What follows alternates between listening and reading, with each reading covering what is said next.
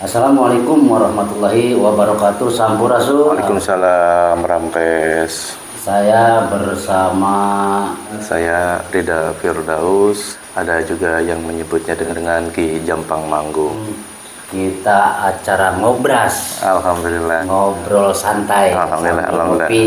Sekarang ini eh, di YouTube lagi rame-ramenya tentang dukun. Nah makanya malam ini saya datang ke Pupuhu ataupun Ketua Paduka. Paduka itu paguyuban dukun Karawang. Nah ini biangnya dukun. Paduka itu inisiatif dari mana Ki? Oh, sebenarnya Alhamdulillah ya ta- kedatangan daripada Ki Bawang Sadewa yang merupakan youtuber. Semoga subscribe-nya meningkat ya. Amin, amin, amin. Paduka itu singkatan daripada Paguyuban Dukun Karawang. Awalnya pada bulan Rajab in- tiga uh, tahun yang lalu gitu ya. Berarti udah tiga tahun ya? Ya, alhamdulillah itu saya ingin merangkul uh, teman-teman atau ikhwan gitu kan dalam suatu bentuk kecintaan kami atau pribadi sendiri kepada kebudayaan atau ya karena kebudayaan itu merupakan ciri suatu bangsa. Hmm. Nama daripada paguyuban Dukun Karawang ini karena kami menyikapi khususnya di Kabupaten Karawang ini kental sekali dengan eh, nuansa mistik dan eh, klinik. Oh. Ya, jadi karena dengan hal ini sebetulnya kami tidak menarik gitu untuk eh, para teman-teman semua rekan-rekan atau sahabat untuk eh, kepada posisi perdukunan, tapi ini hanya istilah. Di antaranya salah satu istilah itu ada yang menyebutkan dukun itu dengan du- duduk tekun itu di antaranya. Oh jadi eh, arti kata dukun Ya. duduknya tekun. Iya, duduk Oh. tekun itu bahkan ini suatu cara atau metode untuk menggapai keinginan dunia akhirat dengan cara dukun atau duduk tekun. Bagaimana caranya? Yaitu dengan memperbanyak sholat dan sholawat serta zikir kepada Allah Subhanahu wa Ta'ala. Istilahnya dengan amalan-amalan sunnah dan amalan-amalan yang telah diberikan oleh gurunya. Ada juga yang mengistilahkan dukun itu dengan du artinya yang mempunyai kun ijabah Allah. Apabila kita ingin mendapat atau mempunyai ijabah Allah, ya artinya dengan memperbanyak duduk itu atau dekat dengan tekun. Misalkan dengan membaca aurat-aurat, zikir-zikir kepada Allah Subhanahu wa taala serta memperbanyak sholawat, keinginan atau hajat dunia dan akhirat, insya Allah Allah akan kabulkan. Karena dengan hal itu tadi istilahnya itu istiqomah menjalankan suatu perintah Allah baik bersifat wajib maupun sunnah. Hmm, aduh luar biasa. Bener. Yang ini dukunnya beda. oh jadi dukun itu duduknya tekun. Iya. Eh, kalau bahasa dulu gitu ada dukun beranak, dukun tul patah tulang. Iya. Nah sebenarnya kalau arti dukun itu apa sih? Menurut uh, orang tua dulu, sebenarnya kata dukun itu kalau menurut bahasa sekarang itu adalah pakar atau ahli. Oh, Ya. dukun itu ahli dalam Iya, bidangnya. dalam bidangnya. Di antaranya orang yang misalkan zaman dulu ada disebut yang sekarang dulu sebutnya paraji ya atau kalau sekarang bahasa Indonesia dukun beranak Iya. ya di situ disebutnya dukun beranak atau orang yang pakar membantu orang untuk melahirkan Iya. terus ada juga yang du- dukun tulang itu mungkin dia pakar di bidang ahli sekarang sekarang ortopedi yaitu dengan tulang-tulang atau uh, organ-organ yang menyangkut dengan tulang-tulang pada tubuh manusia. Jadi kata dukun itu mungkin karena sekarang sangat marak ya dengan hal-hal yang berkaitan klinik dan gaib dan mistik dan sekarang lagi booming.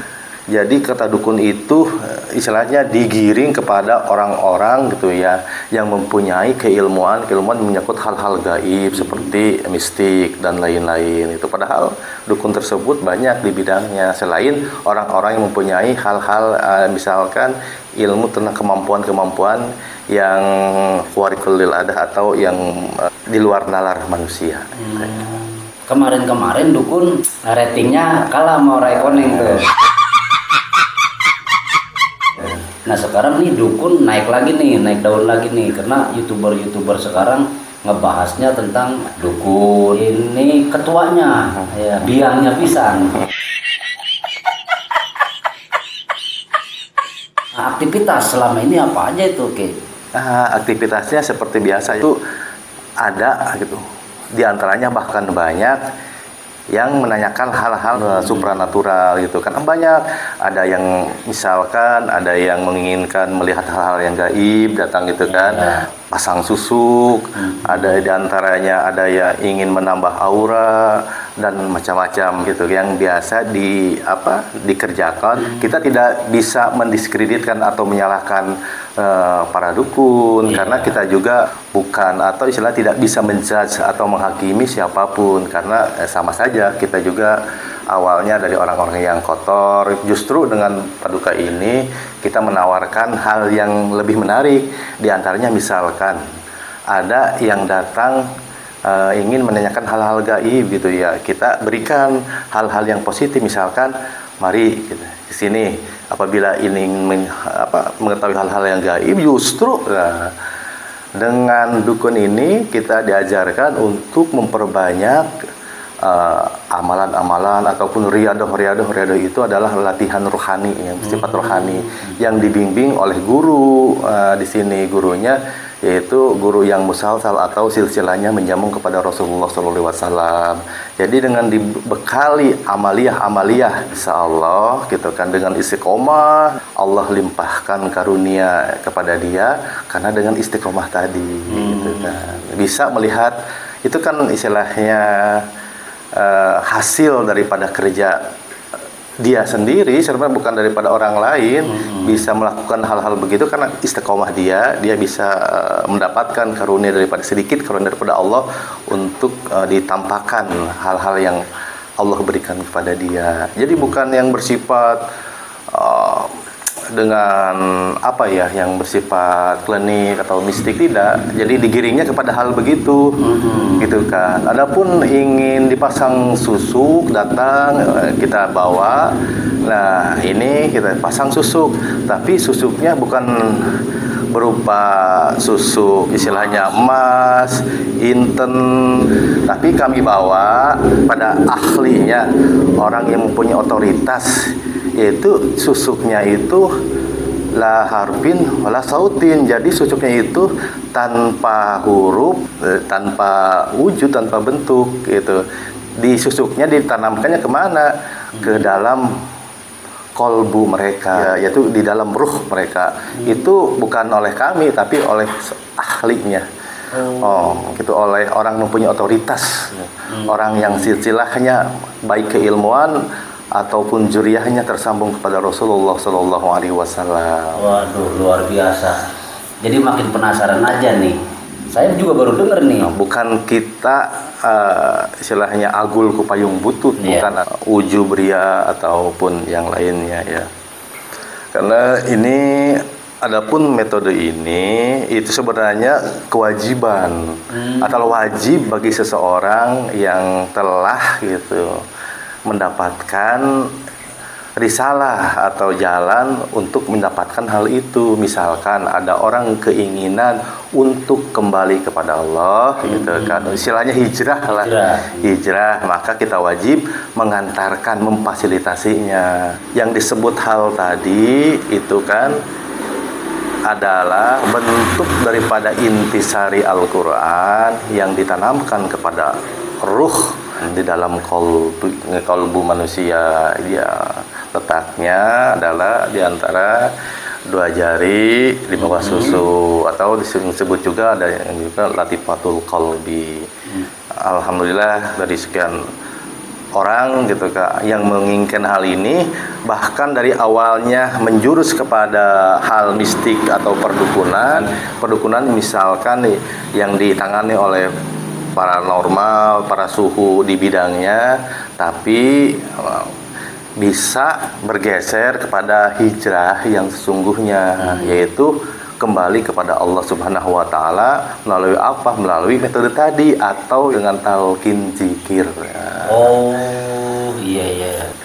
Jadi disebutnya talqin zikir. zikir. Itu setelah mendapatkan talqin zikir otomatis orang itu wajib membersihkan dirinya untuk sampai kepada Allah. Sebetulnya ketika talqin zikir itu juga oleh guru oleh Syekh Mursyid itu istilahnya disampaikan kepada Allah langsung diwusulkan cuma kita kan harus bekerja sendiri apabila kita su- sudah dikasih alat gitu kan kita harus mempergunakan alat itu dengan metode apa yaitu dengan metode memperbanyak zikir kepada Allah apabila orang banyak zikir ya harus banyak duduk artinya duduk dengan apa duduk yang tekun gitu ya Tuh. tidak bergeser gitu kan Sambil ngopi nih. Ah, sil- silakan Kian seadanya.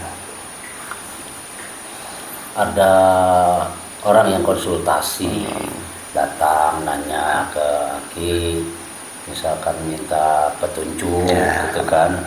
Biasalah banyak orang yang membutuhkan pencerahan.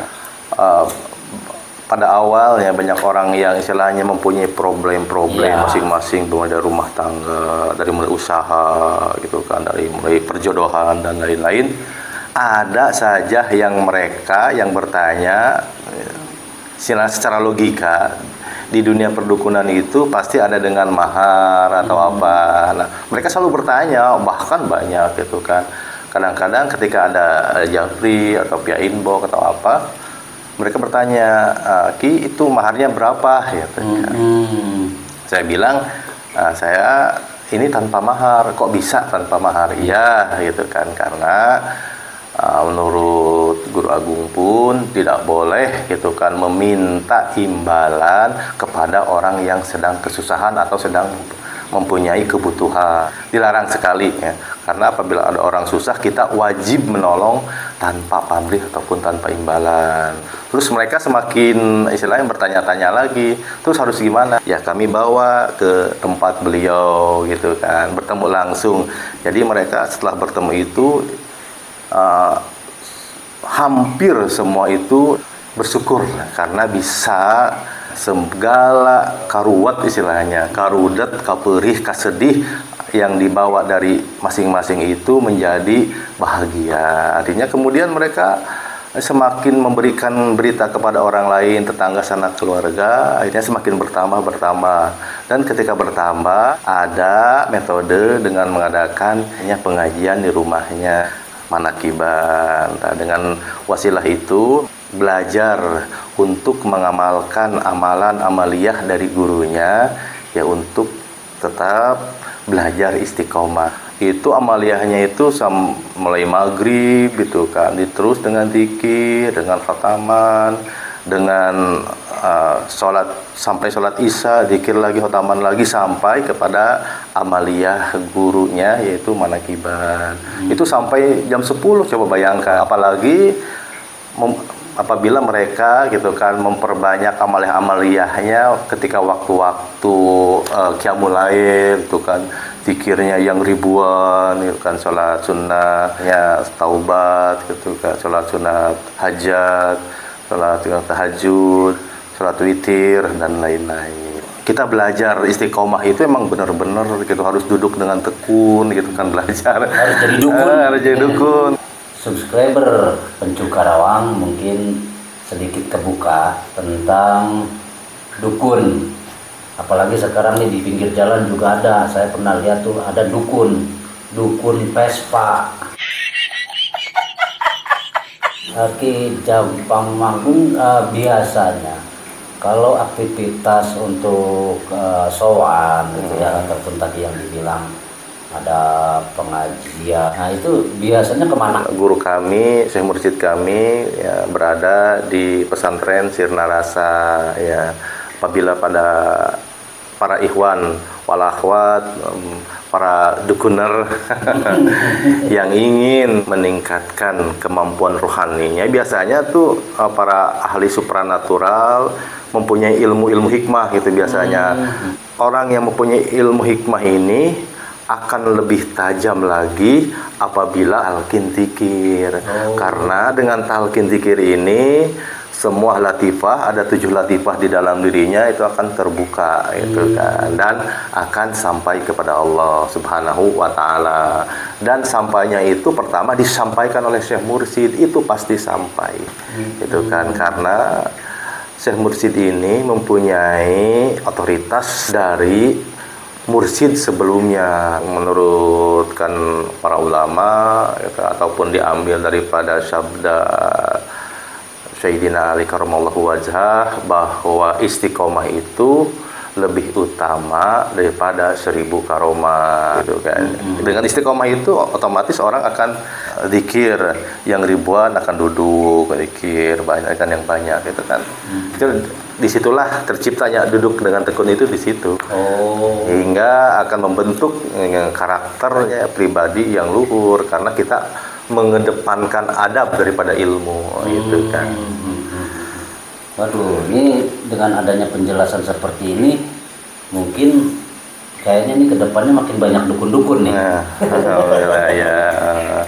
Kita ya hmm, Ki Baong kita tidak boleh menjudge paranormal atau dukun-dukun yang lain itu merupakan urusan mereka dan Allah Subhanahu wa taala. Bahkan di ajaran kami tidak boleh membenci kepada orang lain, menyalahkan pun tidak boleh, apalagi membenci yeah. dan mesti memben, uh, mencintai gitu, menyayangi kepada orang yang membencimu hmm. gitu.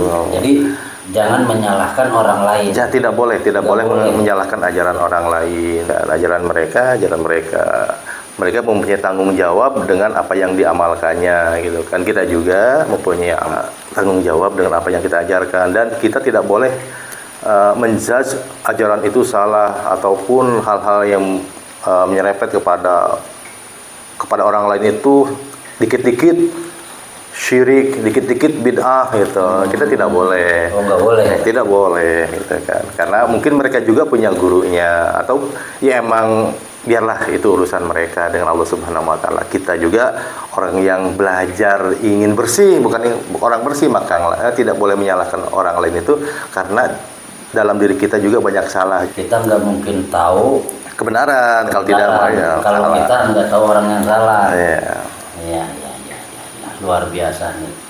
Uh, dari awal sampai saat ini saya makin penasaran aja nih yang disebut uh, guru mursid ataupun yang tadi dibawa ke ahlinya ataupun yang punya kewenangan, punya otoritas. Pertanyaan saya, siapakah beliau? Ya.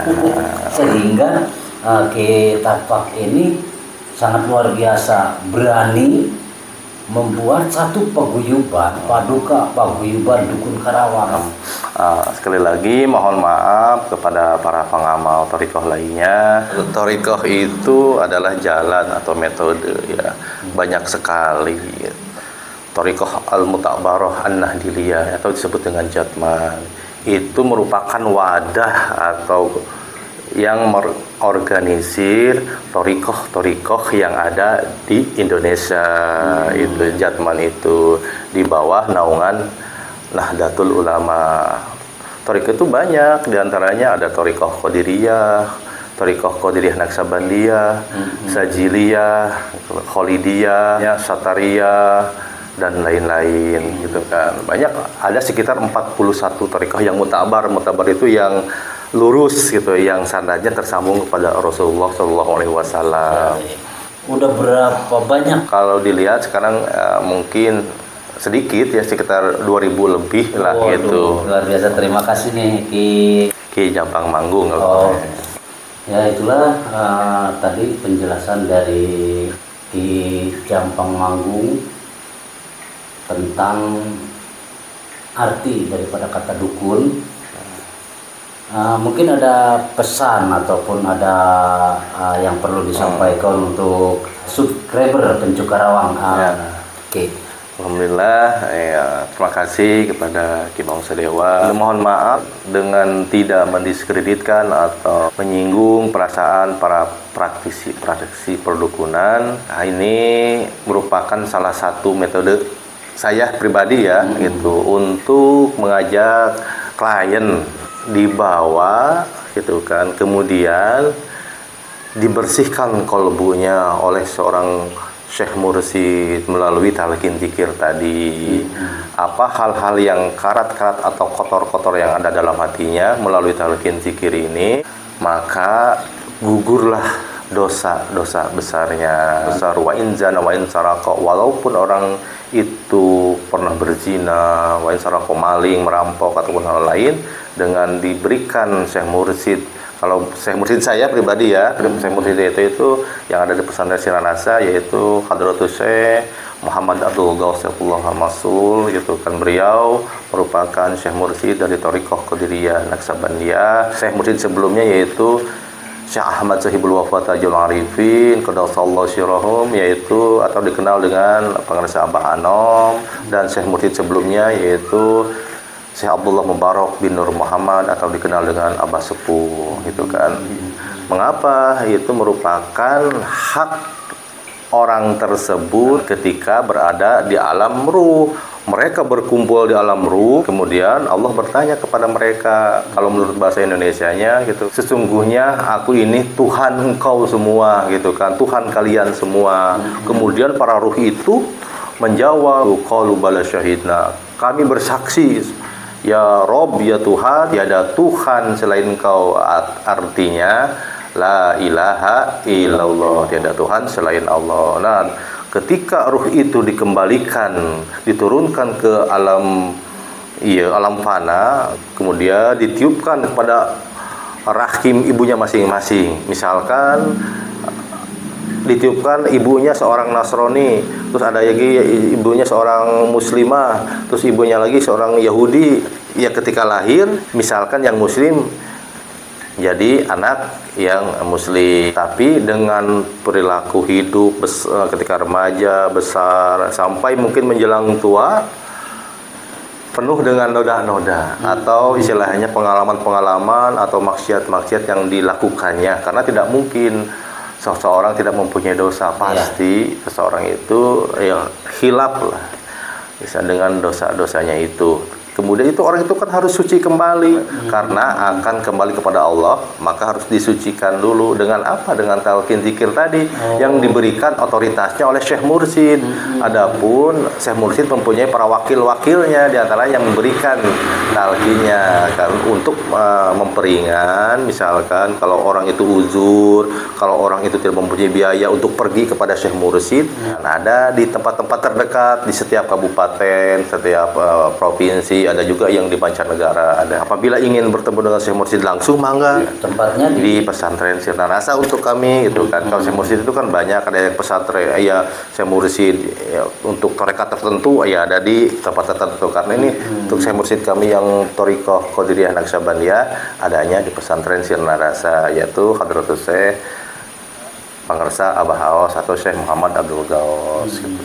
Uh, demikian acara ngobras ngobrol santai masih di channel Pencu Karawang. Jangan lupa like, comment, and subscribe juga tombol loncengnya agar tidak ketinggalan acara-acara ngobras, ngobrol santai bersama saya Ki Bawang Sadewa. Saya akhiri usikum menafsi Allah. Wassalamualaikum warahmatullahi wabarakatuh. Waalaikumsalam warahmatullahi wabarakatuh. Sampurasun.